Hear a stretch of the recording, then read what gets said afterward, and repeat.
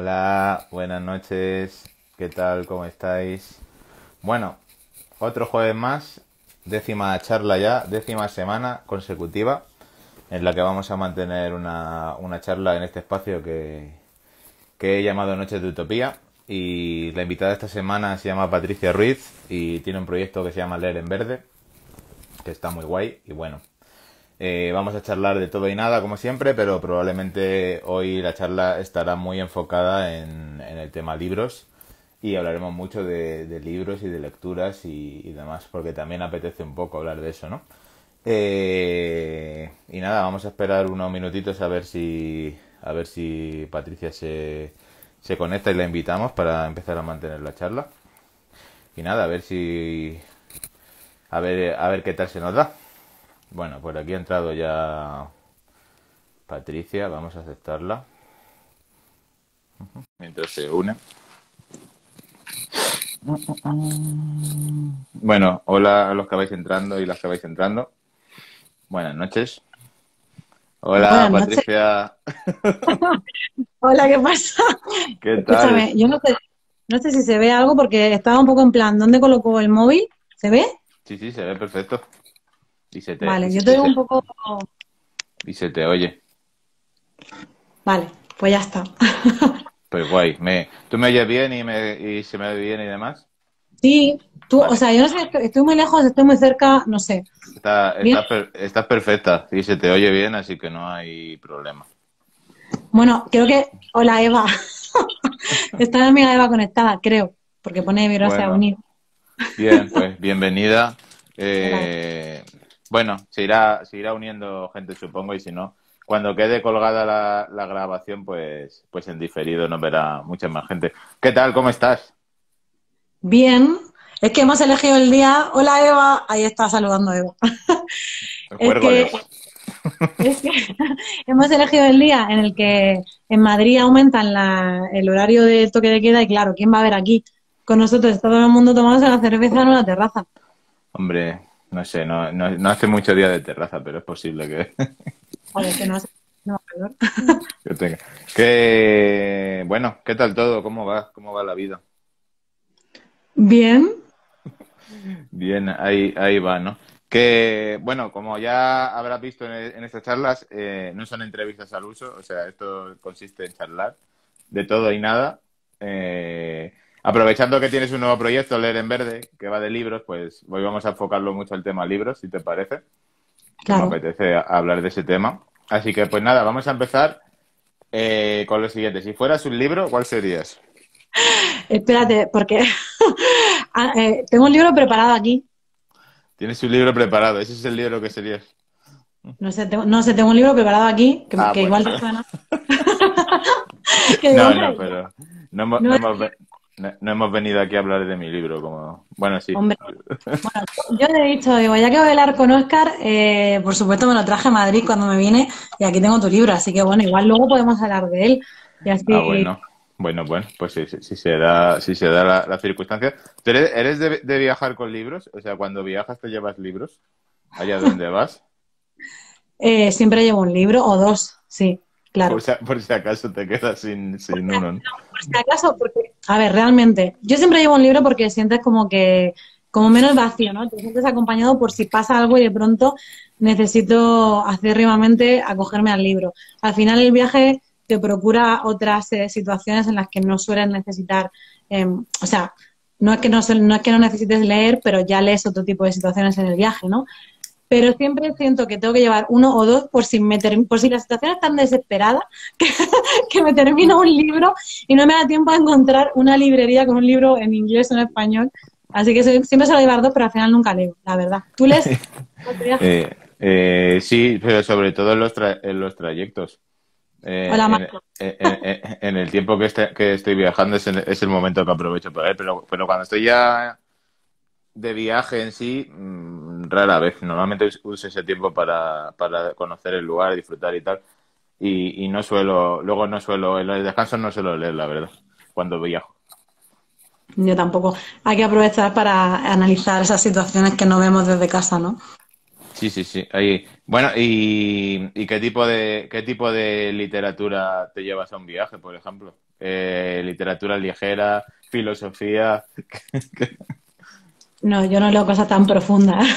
pues mira, mientras estoy mirando, tengo aquí encima un libro. Mira, te lo voy a enseñar que aún no lo he leído, porque me compré este libro que es como súper tiene como 100 páginas. Mira, ¿ves? Que se llama Los, eh, los lugares rotos. Que, o sea, me suelo llevar libros así. Este no lo he leído porque me lo compré antes de la pandemia y por lo que sea, aún no he podido viajar demasiado. Pero me, me gusta llevarme como el típico libro pequeñito, recogido, ¿no? Que tampoco ocupa un espacio así eh, exagerado.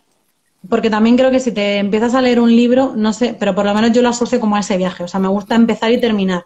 A veces me ha pasado lo típico de empezar, de llevarme un libro y empezar en un avión y a la vuelta decir, tengo que terminarlo ya porque, porque no sé, como que empieza el capítulo y termina en ese viaje, ¿no? De alguna manera. O sea, ¿te, pasa que puedes, que puedes recordar eh, un libro por un viaje. O sea, por ejemplo, recuerdas un viaje y dices, ay, me acuerdo de este libro que me leí en aquel viaje. O sea, ¿eres de, ese tipo de asociaciones? ¿Eres capaz de asociar? Sí, casi siempre recuerdo en qué momento, no sé si del viaje o del lugar, pero del periodo de tu vida en el que has leído el libro, ¿no? Porque también depende de tu estado emocional, el libro te transmite una cosa u otra, ¿no? ¿No? ¿A ti? Sí, eh, yo creo que sí. Eh, ¿eres, de, ¿Eres de releer libros? ¿O, una vez que lo lees ya no? No, yo creo que solo he releído Harry Potter como 50.000 veces. y, no, me avergüenzo. Harry Potter y poco más, eh, poco más, la verdad. No, porque creo que, no crees que hay demasiados libros ya en el mundo como para andar... No sé, si, no sé si demasiados, pero creo que harían falta eh, 14 o 15 vidas o más para, para podértelo leer y, dedicadas solamente a leer, para poder leerse todo lo que hay. ¿Y qué opinas de estas listas de libros? O sea, sí que recuerdo que hay un libro, oye, ya estás con la cerveza, ahora te pregunto. Hombre. Hay un libro que se llama, yo tengo aquí ahora, Hay un libro que se llama Mil un libros que tienes que leer antes de morir. ¿Qué, opinas, de ese tipo de listados? Gilipolleces para vender. vale, gracias. Ah. Porque... Eh, ni, soy, ni soy de listas de libros, ni soy de listas de películas, ni soy de listas de nada. Eh, creo que cada persona tiene unos gustos y, debe leer lo que más le interese en cada momento.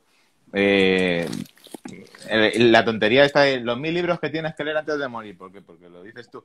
Eh, no sé, eh, como hay, hay, cientos de miles de cosas que no es en el universo, pero me tengo que leer mil libros que tú, que tú has decidido que me tengo que leer. No sé, yo, yo no lo veo, eso no lo cojo por ningún lado, pero bueno, al final son trucos comerciales también. Los, mil libros, las mil cervezas, las mil comidas, pues que... mil, mil cervezas, mil cervezas, me parece un buen sitio donde empezar. Bueno, ese sí, ese sí lo haría, lo de las mil cervezas antes de morir. Eso, sí, lo haría, Sí me acaba, pero libros... Eh, yo, bueno, hablando de todo esto, ¿qué, piensas de las lecturas obligatorias, por ejemplo, en, en, la época escolar o académica, cuando te obligan a leer libros? Que, ¿Estás a favor? ¿Estás en contra? ¿Crees que hay libros que sí que hay que leer? Que... Estoy en contra, estoy en contra. No he meditado mucho esta respuesta, pero... Aquí no se medita, ¿no? No, no se medita. Estoy en contra porque, o sea, mi experiencia, ¿no? De lo que yo recuerdo, no, no, no, recuerdo ningún cariño especial a ninguno de los libros que leí, pero sí recuerdo mucho cariño y mucha importancia para mí en esa época de mi vida, o sea, en esa edad, a libros que leí y que, pues por lo que sea, a mí me tocaron. Y recuerdo mucho, realmente mucha, mucha repudia, ¿no? Mucha repulsa de mis compañeros. Cualquier cosa que conlleve el adjetivo obligatorio está mal. Eh, y tanto que, o sea, me parece que, que la educación no ha evolucionado prácticamente en los últimos años, mientras que la sociedad y la tecnología sí lo ha hecho. Así que no entiendo por qué no se puede personalizar de una vez más la educación. Realmente creo que, ya hablando en serio, la lectura podría realmente fomentarse y, podría gustar a, los jóvenes si se personalizara un poco. Si a un chico le gusta ciencia ficción, ¿por qué no puede leerse una novela de ciencia ficción para despertar el amor por la literatura en secundaria? Sí, y incluso, incluso un debate en clase cuando lo comente, ¿no? Yo he leído esto, yo he leído aquello, como abrir más el, horizonte, de abrir más el abanico. Y ¿Cuál es el primer libro que recuerdas que te leíste? Que tú tengas memoria, que digas, hostia, este es el primero que yo recuerdo. sea, de, lo que sea, ¿eh? Por vergonzoso que te parezca. No, el primer libro. A ver, a mí es que mi madre, gracias mamá, mi madre me llevaba, me llevaba a la biblioteca de, muy niña. Vamos, tengo un carnet de biblioteca mm, que, que tenía yo no sé cuántos años. Entonces recuerdo leer a Gloria Fuertes, recuerdo leer a Asterio Bélix y recuerdo leer a Ana María Matute, creo, un libro que se llamaba, no sé si Ana María Matute tenía libros para niños, pequeño teatro, no, no sé, me suena leer a Ana María Matute también de pequeña, pero libros ilustrados, ¿no? Como... Eso, eso, eso recuerdo. Sobre todo Gloria Fuerte con sus ilustraciones de libros para de animales y así. Qué guay. sí, sí, sí, sí. Y luego, bueno, y esta editorial, ¿cómo se llama esta editorial? Que, tenía el lomo verde casualmente, pero ¿cómo se llamaba? Era los de Anaya, eran los del lomo verde. ¿Barco de vapor? Pero esos eran naranjas, por lo menos ah, los, que yo recuerdo. ¿Y cuál has dicho tú? El de Anaya, los de Anaya sí que eran verdes, eso ah, recuerdo yo. No sé si era barco de vapor. Bueno, esos típicos libros, ¿no? Que tenían el, la, franja de edad de para menos de no sé cuántos años. Sí, que eran por, por edades, ibas avanzando. ¿Qué leías tú? ¿Cuál es el primero que recuerdas tú?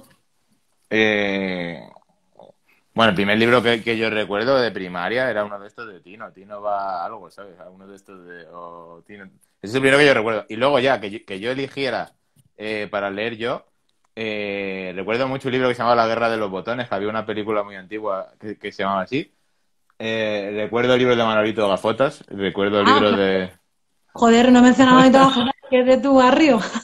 De, Fray Perico también, muchos. Es verdad. Y, bueno, sí. Y esos son los que, los que más tengo en la memoria, que, que eligiera yo para, leer, porque sí. Y luego ya, así un poco más de, de adultos. Es que yo con 12 años, a ver, mi, mi, mi familia eran del círculo de lectores. Entonces siempre, siempre pedían libros. Y mi, hermano, mi hermano estaba estudiando la carrera de Derecho y le gustaban mucho los libros de John Grisham, que son todos de abogados y cosas así. Entonces yo con 12 años o 11 me leía esos libros de juicios y jurados populares y entonces también tengo mucho en la memoria el... ese, tipo de libros que eran, tochos, o sea, la gente me veía... O sea, pero no abogados tipo, o sea, no era tipo Agatha Christie o Conan Doyle, no. No, eran juicios, normalmente juicios eh, reales que te podías encontrar. En... Bueno, luego ha, habido muchos que se han llevado al cine, el, el, jurado se lleva al cine, legítima defensa, o sea, muchos se han llevado luego al... Pero bueno, que eso, que para un niño de 11 años la gente me veía leyendo eso y flipaba, entonces... Joder. Pero bueno, no sé, pero lo recuerdo con cariño también, es como, bueno, es una, una parte guay. Bueno, eh, retomamos la, la pregunta inicial. Si te, tuvieras que, asociar a un único libro, ¿qué libro dirías? ¿Este libro es el libro de mi vida o, el libro vital de...? Pero esta pregunta es súper jodida. Bueno, puede que uno no pueda ser, pero varios, ¿no? Que tú digas, pues este me marcó, o sea, que te hayan marcado y digas, joder, es que este libro... A ver, es que es muy cliché, o sea, es muy cliché, pero a mí La sombra del viento, o sea, a mí La sombra del viento de Zafón supuso un antes y un después porque pero yo creo que La sombra del viento de Zafón fue eh, el punto de inflexión entre la literatura más juvenil. Aunque Carlos Zafón, mucha gente lo considera, Carlos Ruiz Zafón, mucha gente lo, considera literatura juvenil. Pero La sombra del viento ya era un escalafón más. Entonces, yo recuerdo ese libro como el punto de inflexión entre todo lo anterior. También la novela histórica, que yo tuve unos años que me, que me, que me artearle a leer novela histórica.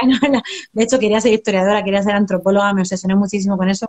Pero cuando leí La sombra del viento, encontré como por primera vez una, no sé, una, como que confluían un montón de cosas. Confluía una narrativa cuidada, rica, muy adjetivada, eh, quizá, quizá demasiado, ahora que la leo después, ¿no? Pero muy a los Antonio Muñoz Molina. Pero con una, con una historia de misterio, a la vez era una historia de amor a la literatura. Entonces era como una meta historia, ¿no? En la que confluían un montón de cosas y, y yo sentí que por primera vez estaba leyendo como una novela dirigida a mí, de manera adulta, ¿no? Y, y, luego también su manera de escribir, que, que en paz descanse eh, el grandísimo Carlos Rizafón, que joder, ojalá hubiera podido escribir más cosas. Yo creo que para mí fue como un, un ejemplo a seguir también, ¿no? De, joder, a mí me gustaría escribir este tipo de cosas. Sí. Pues ese, ese tipo de, de literatura, ¿no? Eh, yo, yo recuerdo un libro de Carlos Ruiz Zafón, que creo que es el, el, creo que es el único que me he leído, no sé si me he leído varios. Eh, creo que se llama Marina, el libro se puede llamar Marina. Sí, sí, sí, Marina, el cuarto. Que me lo, me lo regaló una, una, amiga porque me decía que el personaje de Ismael que sale en ese libro, que le recordaba a mí, por Ismael Serrano, y porque era marinero y no sé qué tal. Entonces me, me, y me recuerdo que aquel libro me gustó, pero luego no seguí indagando más en, en, en, Bueno, lo tengo pendiente ahí. Lo pero Marina es uno de esos libros de, de él que, que, forman parte supuestamente de esa novela más juvenil, que tiene como tres libros que se llama la, la, trilogía La Niebla, luego Marina, y luego ya empieza con la saga de la sombra del viento, que para mí es un poco más adulto. Pero igualmente, o sea, es igualmente para todas las edades, quiero decir, o sea, yo lo recomendaría a cualquier persona que realmente le guste, le, es como un thriller, como un thriller ahí súper bien escrito, joder. Vamos, que, te, que, una, que, que, que, tú mismo eres, eres capaz de, de, imaginarte las imágenes, ¿no? Como una película. En... Sí, y eso, y eso eh, mola que digas esa comparativa porque él no quiso nunca que se llevara al cine. O sea, La sombra del viento y la saga que le siguió después fue como un súper pelotazo a nivel, ¿no? A nivel novelesco, a nivel literario, pero él siempre se negó a que se llevara al cine, porque él decía, incluso él siendo, si no recuerdo mal, esto lo estoy de memoria, no me acuerdo, no sé si hizo algún guion para alguna serie o película, me suena, pero nunca aceptó que sus libros se llevaran al cine. Porque uh -huh. él creía mucho en esa división ¿no? de como yo he concebido el libro, uh -huh. para, o sea, he concebido la historia para el libro y, y, así es como tiene que ser. Y la gente, ¿no? Como siempre tendemos todos a, venga, ahora al cine, que luego es una mierda. Ya, ya, ya. Es una decepción. Y él nunca quiso. Y a mí eso me parecía eh, admirable. Como podría haber sacado mucho dinero, pero él se mantuvo fiel a la idea de que, de que no, de que su idea era para mantenerse en las páginas del libro y ya está. Sí, sí, que, te, que eso era para, para el libro y tal. Hombre, ahora, ahora que, que, ha, que, ha, muerto y los derechos ya no los maneja él, veremos a ver qué, qué pasa. ¿no? Joder, pues espero que espero que quien sea que tenga sus derechos se mantenga fiel a, su, a sus valores. No lo vendan. Eh, entonces, eh, por, por, esto, eh, deduzco que, que prefieres eh, un libro a una película. O, o, no. O que si ves una película que te gusta mucho y sabes que está basada en un libro, te acabas leyendo el libro. O... Creo que nunca he hecho el proceso inverso. No. Sí, Al siempre el ¿no? proceso de leerme el libro, ir al cine y salir decepcionada.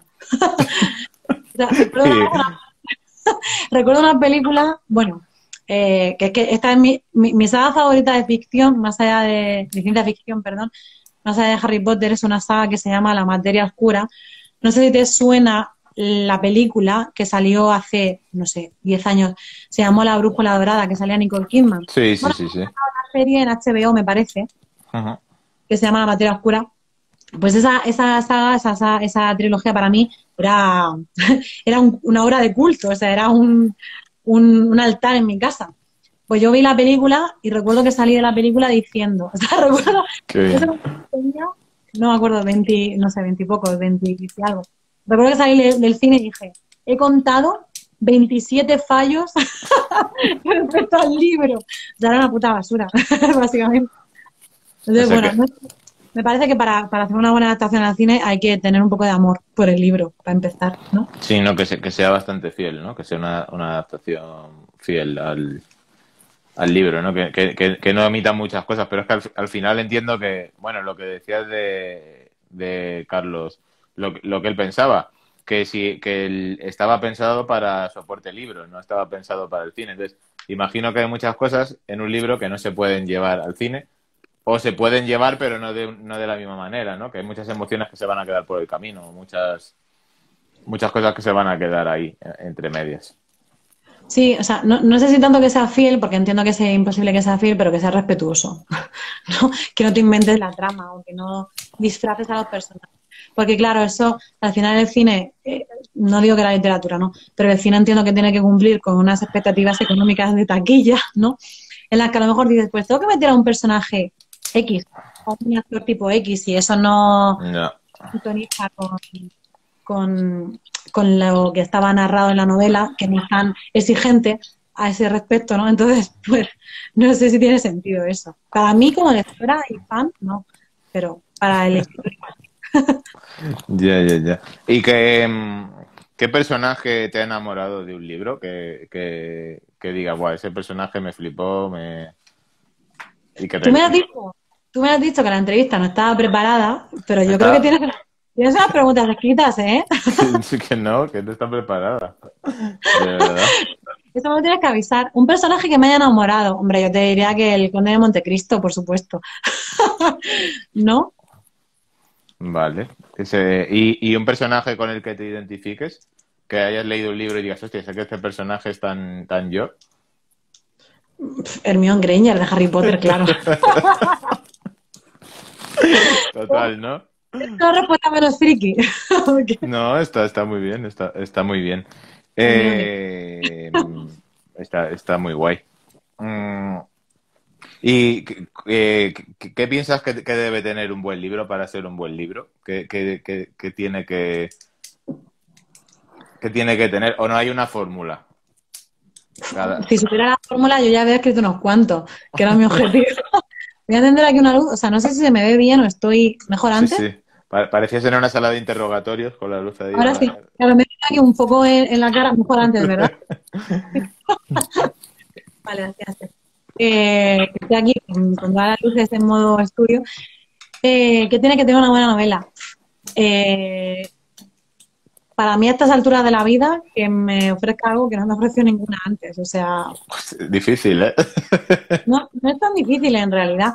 Ya dicen lo de que todas las historias están contadas, pero para mí realmente es un poco como la, como la cuentes tú. Formas de contarlas, ¿no?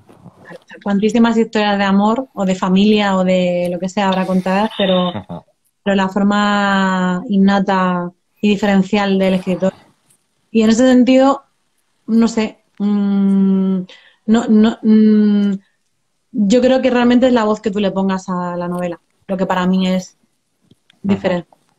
Es que me, da igual, da absolutamente igual como digo, mi nuevo proyecto de leer en verde. no importa tanto lo que cuentes, sino cómo lo cuentes, pero de verdad que lo creo, porque hay escritores que, cogen una historia muy trillada a lo mejor, pero la cuentan con una voz diferente, o que a mí por lo menos me hace sentir de manera diferente, y creo que eso aporta más valor que, que cualquier enjundia rocambolesca da mis vueltas, ¿no? No sé, a ti, a ti qué historias te llegan ahora, que ya hemos leído tanto, entre comillas. Es que no, no te sabría decir la fórmula, pero eh, que me emocione, o sea, que un libro me emocione, ¿no? Es lo mismo que busco en la, lo mismo que busco en la música últimamente y desde hace un tiempo, que es como escuchar algo o leer algo y que me emocione, que, que me llegue, que tenga verdad. Y, y, para tener verdad tienes que tener, yo creo que tienes que tener una voz propia, ¿no? Una voz, pues eso, que, que tengas una manera de contar única que, se puede contar la misma historia, pero que solo tú la puedes contar de esa manera, ¿no? Entonces es, lo que es lo que a mí me llega. Y sí, eso, yo creo que eso es lo, eso es lo, lo que más me, me atrapa de un libro, ¿no? Y porque si no empiezo como a leer una etiqueta de champú, como yo digo, ¿no? Pero tú, tú no leías las etiquetas de champú de pequeño porque yo las leía. Y, las, y las sigo leyendo, o sea, yo sé que yo leo todo, los prospectos de la medicina, todas esas cosas que, nadie se lee, pues... y busco, falta, busco esta falta de ortografía, digo, pues si esto está mal escrito, esto como no... Como ¿Verdad? Eh, no ha puesto una coma aquí, joder, que aquí va una coma. Sí, sí, y, y por ejemplo, ¿a ti te pasa eh, que todo lo que empieces a leer te lo tienes que terminar? ¿O si es un, un tostón lo, lo, lo, abandonas? Sí, o sea, o sea, me pasa, pero a veces abandono cosas. O sea, me fastidia muchísimo terminar un libro. Es como si dejaras un capítulo de tu propia vida inconcluso. Pero es verdad que a veces que uno pilla libros que son un poco, bueno, no voy a decir malos, pero que no son para ti en ese momento o lo que sea. Y que... o sea, ahora mismo tengo, no sé, tengo creo que tengo cuatro o cinco libros ahí con el marcapáginas todavía, ¿sabes? Ahí, que los veo y digo, tienes que terminar ese libro, pero no es el momento, ¿no? Claro, volvemos a lo que decíamos antes de los mil y un libros que hay que leer antes de morir. Como hay tantos libros que realmente voy a seguir leyéndome este que no me ha. Claro. Que, puede, puede que los libros tengan un momento vital, o sea, que, que, sean para leer a una determinada edad o en una determinada etapa de. Yo creo que sí, o sea, tampoco sé, no sé, por ejemplo, eh, eh, me, me cogí un libro que se llama, no me acuerdo la autora, lo tengo, es que lo tengo en el otro lado de la estantería, no te lo puedo decir ahora mismo, pero se llama La edad, la edad del desconsuelo Ajá. y trata de, pues como el propio nombre indica, de una mujer que llega a una edad la que ella, la que ella ya considera del desconsuelo, ¿vale? Que le pasa una serie de cosas. Y claro, yo lo, y era, es una edad más adulta, o sea, más, más avanzada que la mía, en la que ella tiene una familia y tal.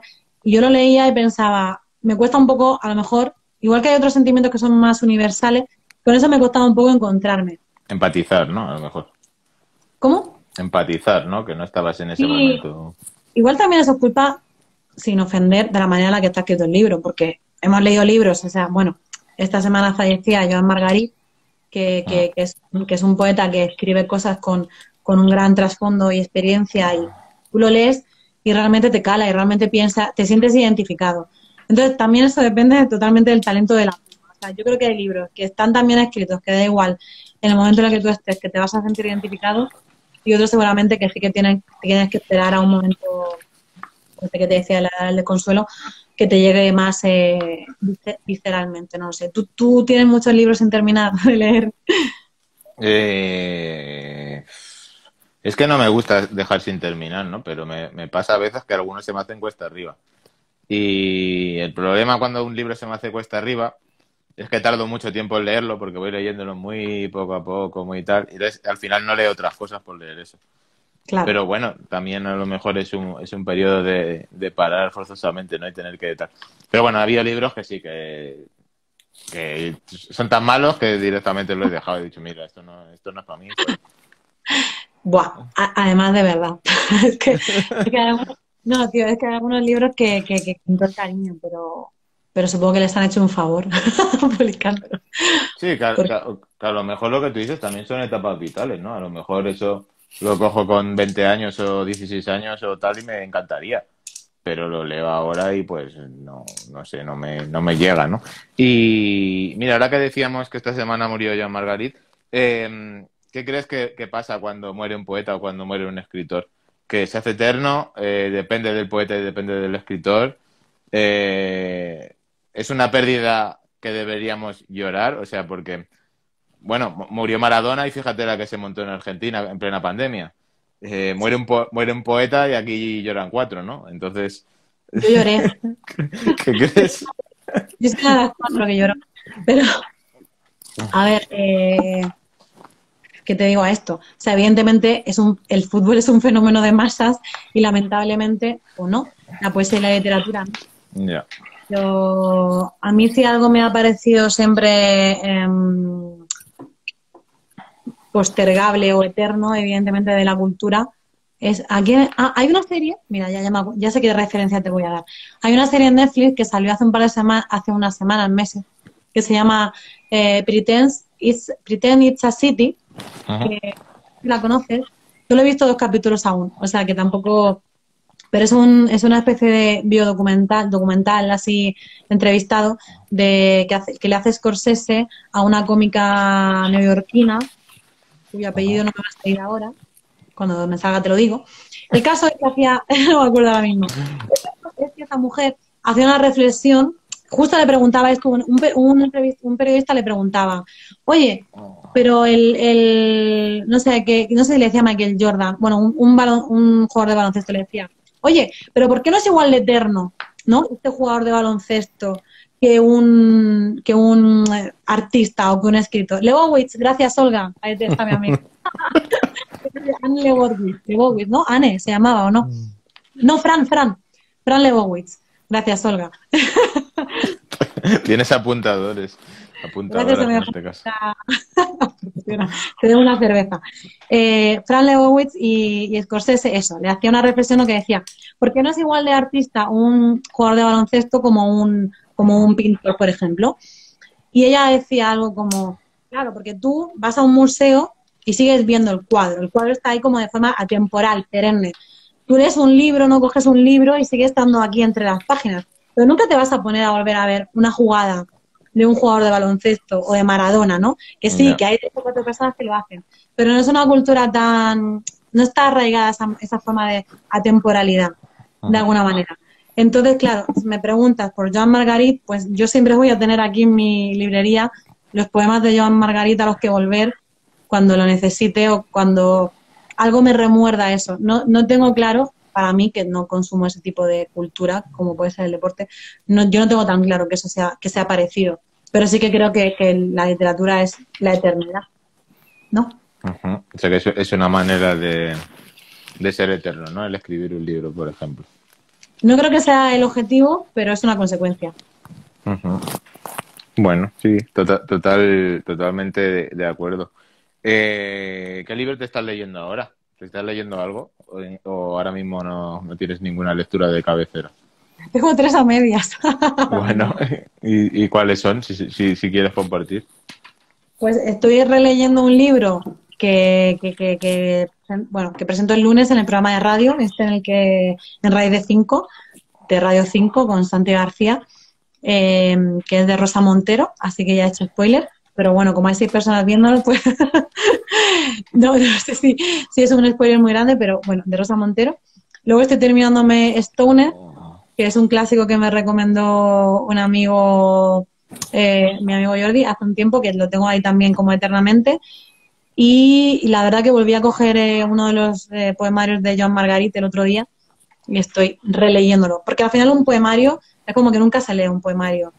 Realmente. Bueno, tú, ¿qué, te va- qué vas a decir tú que tienes un poemario publicado, no? Sí, un bueno. poemario es descubrir el libro todo, todo el tiempo. Sí, que, que yo, por ejemplo, un, un poemario es, es para mí es, es como un libro de, de consulta que tú coges y abres y, y lees, ¿no? Que no hace falta, aunque bueno, luego estamos los que nos curramos una idea con inicio y tal, pero es que nadie lo va a ver, así, pero bueno, pero porque al final es que un poemario no sigue una, no te está contando una historia, entonces, o sea, te está contando microhistorias con microemociones, entonces Mm, Pues sí, es coger el poemario, leer tres poemas hoy, mañana cojo otro y, lo- y vas mezclando, ¿no? Y vas, vas viendo.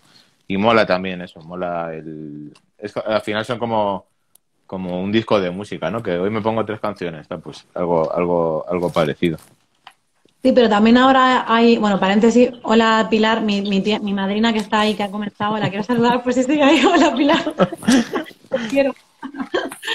Eh, eh, ah, pero últimamente, por ejemplo, el otro día estaba viendo una entrevista de, de Sidoní, no sé si los conoces o si te gustan, Sí, el grupo de música.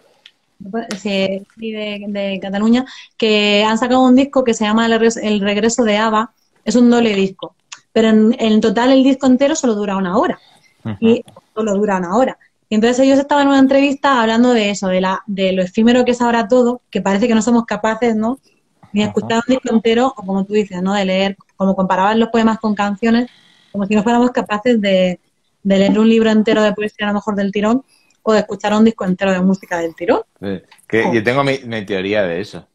Es por, la, por las emociones, ¿no? Las, las emociones que te despierta la música o la poesía no son las emociones que te puede despertar una novela, porque un, un poema tú lo lees y como que todo el rato te está despertando emociones, ¿no? Entonces, es complicado sostener, muchas veces es complicado sostener las emociones en tal. Como, como, interiorizarlo, ¿no? Como demasiado intenso. Creo que hay que estar eh, preparado de alguna manera o preparada para, para aguantar eso, ¿no? Hay mucha gente que vive de la intensidad. En, en cuanto algo le, le emociona, por mucho que, que luego la gente se, se dice adicta a las emociones y tal, pero, pero no sé si te lo has encontrado. Gente que te dice, ay, qué intensidad, estamos demasiado intensos, demasiado profundos, vamos a hablar de algo más tal, ¿no? Como ense- Ah, bueno. enseguida, enseguida se huye de eso, ¿no? De la intensidad, de tal. Entonces enseguida se quiere salir de ahí. Y creo, creo que eso tiene mucho que ver con, con el no sostener un poemario entero, no sostener un disco entero. Eh, Sí, sí, sí, totalmente. Pero porque ahora estamos como la gente es cada vez más fría, ¿no? No fría, pero como si tuviéramos que evitar sentir a toda costa o algo así. Yo estoy totalmente a favor de la intensidad. ¿Qué es la vida sin intensidad, Oscar? yo, yo es que no, yo es que no, sé, no- es que a mí cuando me dicen la intensidad, digo, pero si, si es que mi, mi método de, mi forma de vida, no, es que yo no lo considero intenso, es que así vivo, ¿no? Como profundizar un poco también en las cosas, pero bueno, no sé, que- creo que creo que el, el simple hecho de eso, de, de rehuir- huir de la intensidad, te está diciendo mucho de ti mismo, ¿no? De, hostia, hay cositas aquí que tienes que, que mirarte, pero bueno, eso es otro tema, otro tema que no vamos a hablar hoy. Eh, ¿a, a, a qué huele un libro? ¿A qué te huele un libro? Esto, esto es porque has visto que por ahí digo cosas del olor de los libros o qué pasa. No, no, no. ¿Dices, dices cosas del olor de los libros? Pues no, no lo había... Depende del libro. Hay libros que huelen muy bien y libros que huelen muy mal. ¿A ti te gusta el, olor al libro este cuando vas a un libro nuevito que tiene ahí un olorcillo? Sí, pero también me gusta mucho el libro, el, olor a libro antiguo, el olor a libro de biblioteca, que huele de otra manera, Es ¿eh? distinto, ¿no? Biblioteca huele, huele a experiencia, huele, Huele a historias. huele a historias de otro. ¿Sabes lo que me encanta? Me encanta, me encanta, por ejemplo, ir a, a libros de segunda mano, bueno, a la Cuesta de Moyano o a sitios así, y ese olor, y sobre todo encontrarte, eh, por ejemplo, dedicatorias de gente, que ¿sabes? Esas libros de segunda mano. que O que, se, o que se la regala, se la regala el amigo y lo han vendido, o se la regala la novia y lo han vendido, ¿no? Sí, no, este no es. Tenía un libro por aquí que, que compré y luego lo abrí, ¿dónde estará? Y, y tenía una dedicatoria y me hizo mucha gracia. Porque es como, no lo encuentro. Me encanta, es como que tiene otra, una, una tercera o última historia del libro, ¿no? Pues ah, este se lo regalaron y Eso es muy bueno, sí, sí, sí, eso es muy bueno, pero, pero es que al final, yo el, yo el otro día lo hablaba con una amiga, a mí, por ejemplo, se lo decía, ¿no? Ahora que estoy mucho con el rollo del minimalismo y de ver documentales de minimalismo y tal, muchas veces leemos un libro y se queda en la estantería ya de por vida, cogiendo polvo y sin que nadie más lo lea, ¿no? Y al final es un poco una pena, un libro está hecho para que se lea, para que tal, ¿no? Tene- tenemos, tenemos muy poca cultura del, del book crossing, ¿no? De- de- del compartir libros, de un libro que te mola, que pase de mano en mano y, va- y vaya volando de un lado a otro. Eh, A mí me encanta dejar libros siempre que me los devuelvan. Quiero decir, no siempre se, que volver. no sabe qué se ríe aquí Bink Tesoto, si quiere que lo diga, porque ha puesto una, una risa, no sé si se está riendo de lo de no devolver libros o de No, que... creo que se ríe de antes porque les llega, les llega con retraso. No, Ah, no, lo, vale. le- no lo leen tan rápido. Como entre que mi internet también va fatal, yo ya no sé. No, hay, hay, ¿conoces la iniciativa esta de tu librería? Tu librería, que hace... Ahí puedes revender tus libros. Ah, no una- sabía, no sabía que se podían revender. Bueno, a ver, revender.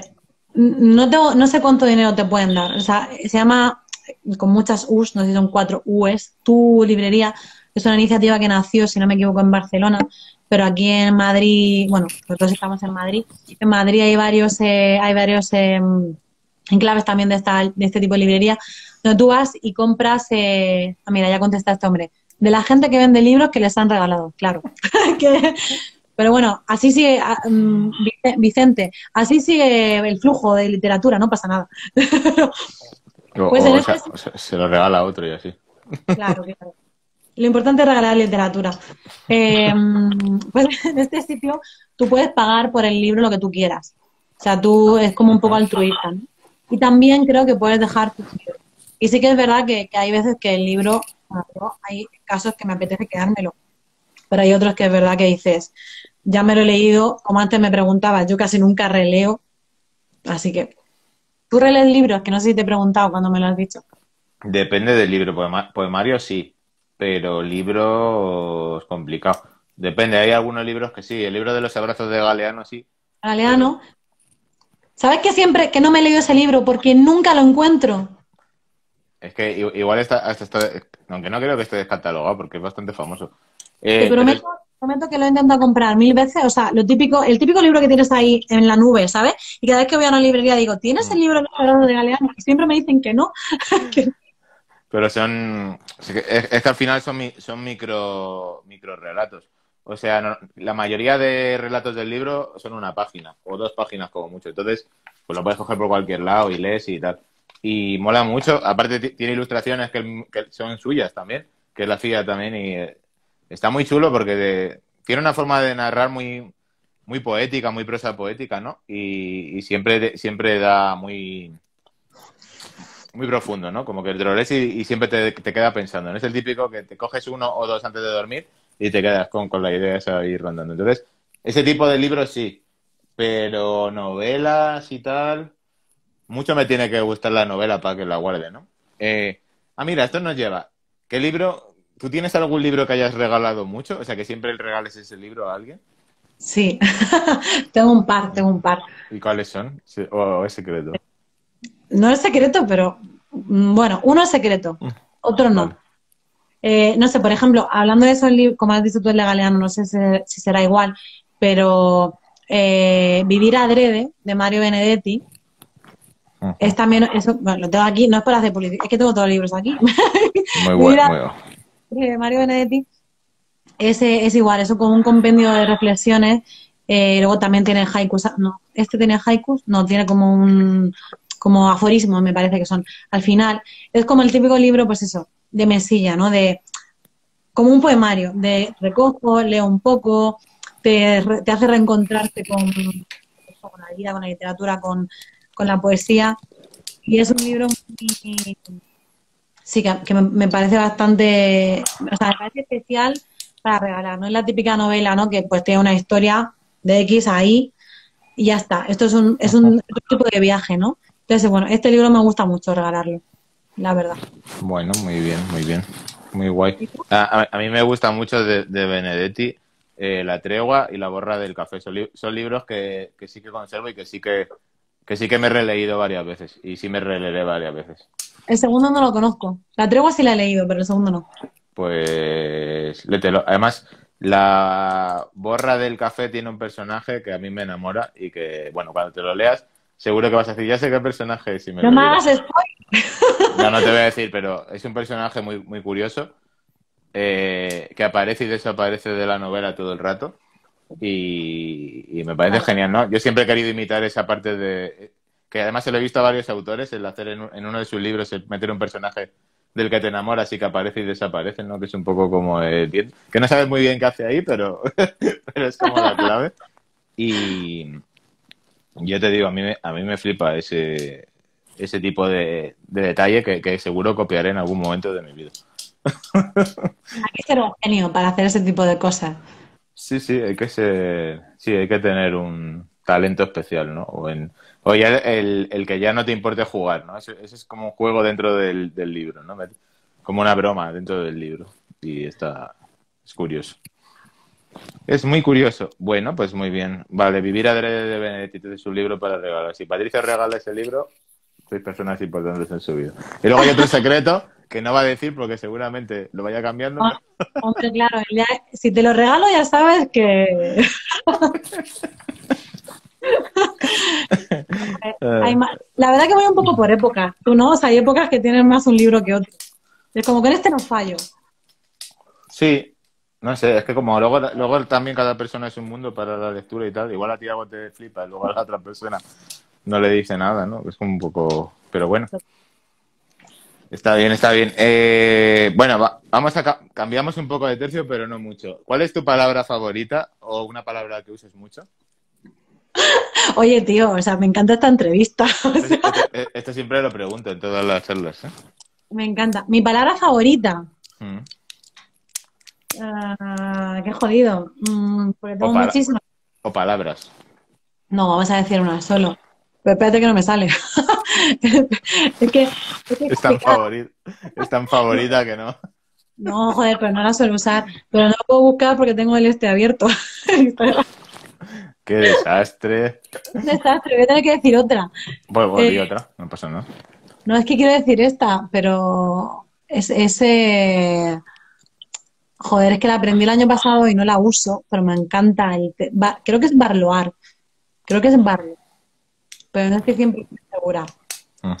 Poco friki. Entonces, no sé, si todos los- no sé si lo sabes, pero todos los días la RAE, la, Re- la Real Academia Española, eh, signa una palabra del día. Sí, sí, sí. Publica la palabra del día.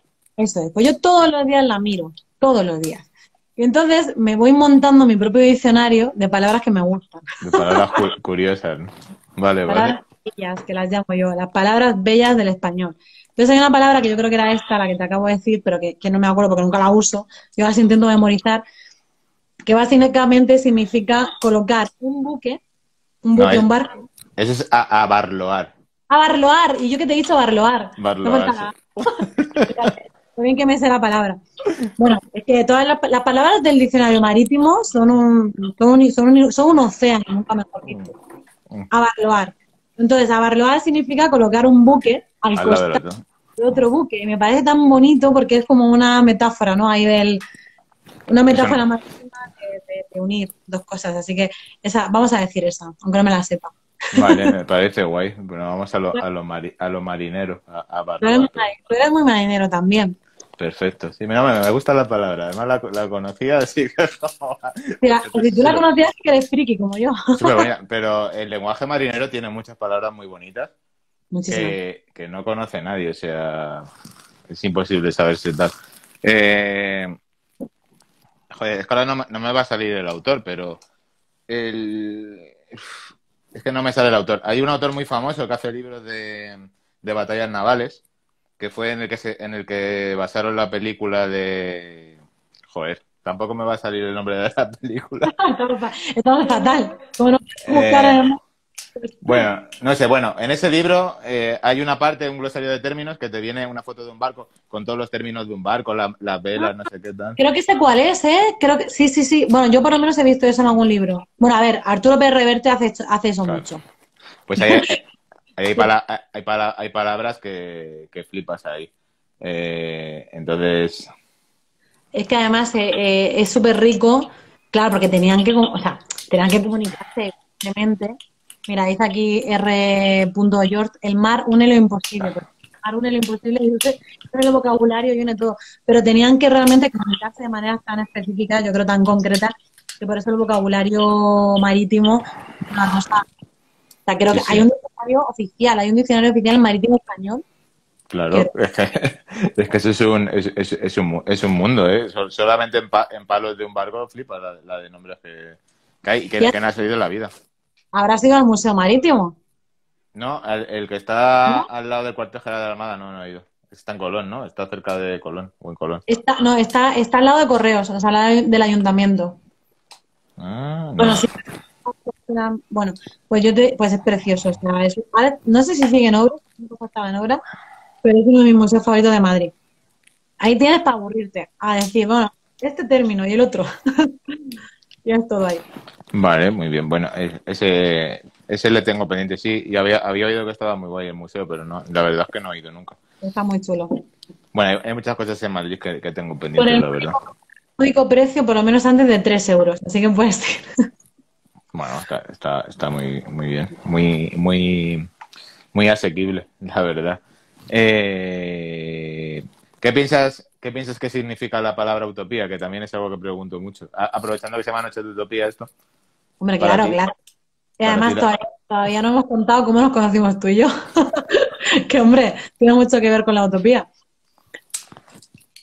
Eh, pues utopía creo que es una palabra ahora que no sé si te diría en desuso o en peligro de extinción, teniendo en cuenta el escenario distópico que vivimos. Así que pa- para, mí la utopía no sé si es el pasado y el futuro, cualquier cosa menos el presente, eso seguro. Bueno, guay, guay. Buena, buena, buena respuesta. Eh, eh, bueno, buena respuesta. Eh, un grupo de música que, que nos quiera recomendar a todos los que vean esta entrevista. Hombre, Bueno, hace, charla. ¿hace falta que te responda? Pues si no va. A, a- a mí no, pero al resto de, de personas. Si no, si no vale. va, no va, es un grupo del País Vasco con el que tuve el placer de ir a ver contigo en febrero del año pasado, hace un poco más de un año. Que, que concierto. genial concierto a las 12 de la mañana, cuando todavía, todavía no había toque de queda, pero ya salíamos por la mañana, Cuando no era necesario, pero pero aún así lo hacíamos. ves. Sí. Y, y, joder, pues, pues es un grupo, ahora están a punto de sacar disco nuevo y son maravillosos, o sea, porque son un indie rock, pero muy, muy cavernoso, o sea, muy profundo. Cavernos. ¿No? Me encanta la, la- la descripción.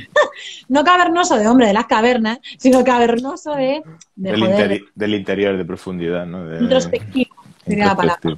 Vale. muy, muy profundo. ¿Y una, una canción favorita tuya? Mi reloj blanco. De Sinova también, ¿no? Sería. Ah, claro, claro, pensaba que estabas hablando del mismo grupo. Vale, vale. Bueno, no, pero eh, podía ser cualquiera, pero guay, sí, del mismo. Hombre, si es cualquiera, pues digo peces de ciudades, Joaquín Sabina. Ah, bueno, también, claro. O sea, ta- es que esa, esa es como muy como muy guay. Aunque a mí me, me gusta más la canción más bonita del mundo de Sabina, Hombre. la verdad. Eso, eso, eso es otra, una obra maestra. Me parece, a mí me, me gusta más, pero bueno, también está muy bien la de PC de Ciudad, la verdad. Peces de ciudad es mi favorita. Pero la canción más bonita del mundo tiene algo especial, desde luego. Hola, tita, que está mi tía Carmen ahí conectada. Es que me hace ilusión. Es es una reunión de, una reunión de familia, qué guay. No, hombre, pero están conectados un montón de amigos. Olga, mi, mi tía Carmen, mi tía Pilar. Bueno, pues a- aunque no te lo creas, llevamos ya 50 minutos, así que ¿Ya? ya. Pero es imposible. El tiempo es relativo, que decía ahí. ¿Verdad? O sea, no puedo creer, si no te he hecho ninguna pregunta. Sí, sí, sí, pues ese es el momento. Nos quedan 10 minutos, así que podemos Y no aprovechar. sacado todavía. Joder. Oye, ¿y eso, eso para cuándo? Ese proyecto de, de sacar un libro, escribir un libro, ¿para cuándo lo tienes? Pues está, está bien la pregunta. Yo siempre había dicho que quería publicar un libro antes de los 30, pero por lo que sea me queda poco. me queda poco tiempo. no me da tiempo ya. Por Así lo, que, por lo que sea, ya, ya se acabó. Ya. no, oye, tranquilidad, me, queda, me quedan 10 meses. pero no. En 10 meses puedes, puedes, puedes hacer la gesta. El día Hombre, antes- El día antes del cumpleaños lo mando, lo, lo autopublico en Amazon a lo loco. Hombre, pues se- sería. ¿Pero estás escribiendo o no estás escribiendo? Estoy escribiendo cosas, pero no sé. Bueno. No sé si tienen la, o sea, ¿cuándo sabes? O sea, Mira, esta, esta es la décima charla. Tiene 10 meses. O eh, ojo, cuidado, es un 10, el libro va a ser un 10. No, pero ¿cómo, ¿cómo sabe uno que está preparado para escribir un libro? No lo sé. ¿Hay alguien preparado para escribir un libro? No sé, es que no, hay- no es que tú digas, estoy preparado para escribir un libro. No sé, supongo. Cada uno y cada una. No tengo ni idea. me- me- siempre pienso, o sea, a mí siempre me parece como presuntuoso. O sea, es como digo, ¿quién, quién soy yo para escribir un libro? Mira. Entonces pienso que no estoy preparada. Yo tengo un amigo que los libros los considera cerrar, cerrar etapas. Entonces él cada vez que cierra una etapa escribe un libro. Y ya tiene tropecientos mil libros publicados y, y, y en proyecto. Claro. Entonces, aunque, aunque no lo publique, él de cada etapa que quiere cerrar, eh, o poemario o libro, ¿no? Y como que es algo, es una forma de, de cerrar momentos. Eh, bueno, cada uno elige su... No, no, está bien, pero quiero decirte, ¿cuántas, o sea, cuántas etapas hemos cerrado realmente? Objetivamente. Yo es que lo considero al revés, ¿no? Para mí es una forma de abrirlas, ¿no? Cuando siento que necesito abrir una nueva etapa es cuando, cuando se abre un nuevo, un nuevo proyecto. Pero bueno, es bonito, ¿no? Cada uno busca su, su leitmotiv, ¿no? Cada uno tiene su, su historia. Eh, pero nada, volviendo al tema. Entonces, tienes 10 meses que... No me agobies. no me da tiempo. bueno, pero que, que al, fi- al final también ponerse fechas a lo mejor con esto es un poco absurdo, ¿no? Hay, hay gente que puede tardar 10 años sin escribir un libro y que ese libro sea la leche, ¿no? O, o- o no la leche, pero bueno, porque tarde 10 años, ¿no? Es que eso no lleva Hay muchísimos, hay muchísimos escritores de uno, dos, tres grandes libros y ya está. Y luego hay otros ultra prolíficos, o sea que no tiene nada que ver. Yo supongo que eso, pues, supongo que como el arte tendrás que sentirlo y decir, ahora es el momento en el que me pongo a escribir. Yo todavía no he sentido la llamada. o sea, no he sentido la llamada de decir, ahora. Estoy como latente. No. Llama. Bueno, bueno, pues ahí está el proyecto. Pero ¿va a ser novela, va a ser poemario, va a ser una mezcla de cosas o, ni idea? Mm, pues no lo sé. O sea, tengo un poemario en mente desde hace un montón de tiempo. En Bueno. particular. Novela también. Tengo las dos cosas en mente. Pero por lo que sea no me da, no me da la vida para sentarme y necesito vacaciones, vacaciones eternas. Necesito vacaciones. Pues eso, mira, como el, el, el libro que recomendé la semana pasada, que no sé si te lo has leído, El lector del tren de las 627. No, no lo he leído. Te lo recomiendo a ti especialmente, o sea, yo creo que a ti te va a gustar. Pues bueno, aquí, momento spoiler, ¿vale? Salte de la llamada si quieres de, de este libro. No, el escritor, el escritor de este libro, que era su primera novela, o sea, él trabajaba, si no recuerdo mal, trabajaba en un trabajo así como mecánico, ¿no? Como en una fábrica o algo así. Ajá. Se pidió una excedencia, porque él tenía como, él contaba que tenía la idea en la cabeza Y necesitaba. Entonces dijo, me pidió la excedencia. Se la pidió y no sé si uno de uno a tres meses, no me acuerdo exactamente, soltó el libro, éxito de ventas. O sea, que yo creo que realmente es como que un día te dice la campanilla, oye, siéntate ahí a escribir, que tienes el libro, que ahí tienes el libro, ¿no? Entonces, bueno, yo estoy esperando que me pase eso. bueno, es, es, un buen, es, una buena idea, ¿no? Cuando, cuando tengas ahí un periodo de, de 15 días o 20 días, cerrar, cerrar eso. Bueno, llegará. ¿Y tu próximo libro? Mi próximo libro no se sabe. Siempre está por aquí. Me pasa algo, algo parecido. En, en, Navidad estuve como tres semanas de vacaciones y escribía, escribía a lo loco y, como no me había pasado en años. Empecé a escribir, a escribir, a escribir, a escribir, a escribir, a escribir, empezaron a, salir cosas y, empecé a tener hilos para varios proyectos, o sea que ya iremos tirando. El problema es que tengo una mente tan loca que empiezo una, no, este es otro, otro. Entonces al final abro 15 melones, pero no cierro ninguno, ¿no? Pero bueno. No pasa nada, pero joder, Tener 15 melones abiertos ya me parece un éxito. Algún día, algún día se, podrán ir cerrando, seguro. Yo creo que sí. Ay, mi amiga Marta se ha unido. Hola, Marta. Hola, mi Bueno, nos quedan cuatro minutos, pero... Joder, pero, no se puede largar. Si yo, a mí me queda, queda un rato de cerveza, ¿eh? podrán verlo colgado luego. Que, pues eso, pues muy bien, muy interesante. Entonces, eh, tu nuevo proyecto, Leer en Verde, eh, ahí, ahí estará para todos, irá creciendo, imagino. ¿Vas a hacer videoreseñas? ¿Qué vas a hacer con eso? Vale, vamos a... Momento publicidad, ¿no? Como en la Resistencia. Cuando va la gente y David Bronca nos dice, ¿qué has venido en publicidad? La, la, promoción. Vale, momento promoción, no me cortes. Ahora no me digas como, como dice buena fuente el Leitmotiv, Raúl Cimas, vete despidiendo. Sí, que me, dicen por el pinganillo que, que cortes. A ti, no, no, no, déjame playarme, no es broma. Nada, pues, eh, pues empecé hace un mes, como ya sabes, y, estoy contenta, básicamente porque lo estoy disfrutando mucho. Mi objetivo es pues contar un libro a la semana, eh, pero sin hacer ningún tipo de spoiler, ni, ni, de, ni destripar la historia, básicamente. y, bueno, porque a mí por lo menos hace un tiempo que siempre que voy a la librería a veces y no sé qué libro comprarme, a veces le digo al librero, me apetece un libro que me infunda fuerza, ¿no? Me apetece un libro que me ponga nostálgica, me apetece un libro que no sé qué. Entonces, eso, claro, las emociones, porque al final, pues uno realmente lee, si lee para evadirse, ¿qué estás buscando, no? Que te, que te inspire el libro. Porque, ah. porque si yo, si voy a, si voy a la estantería de libros eh, históricos, pues vale, pues historia, pero no es eso, no es solamente lo que te cuente, sino, sino que te transmita. Así que, pues bueno, mi objetivo es que si, si inspira saber qué le va a transmitir el libro y le apetece leerlo, pues contar eso. Y ya está. Bueno, pues muy, muy bien, muy bonito proyecto, además desde un sitio muy distinto, ¿no? A como son normalmente las cuentas estas de, de reseñas de libros y... No son, Pues son de, de estriparte los libros, básicamente, y, y alerta, alerta spoiler, pero bueno, al menos te avisan, ¿no? Claro. bueno, no sé, a lo mejor hay alguna por ahí que no, pero bueno, yo las que he visto en YouTube y eso suelen ser así. Eh, pues nada, pues un placer. Muchísimas gracias por esta charla, por este rato. Nos ha quedado en el tintero mil cosas, pero cuando esto sea podcast, porque algún día esto será podcast. Y... De hecho, eh, perdón, hemos hablado un momento de que tú eres informático yo sé matemáticas y estamos aquí dando de libros. una Bueno, para, para, la, para, la, para, la próxima, para la próxima entrevista hablaremos más de ciencia y de, de otras cosas. Eh, pues nada, eso, que lo, que lo dicho, que un placer y que continuaremos esta charla. Yo te digo, cuando esto sea formato podcast, pase un poco la pandemia, si es que pasa algún día.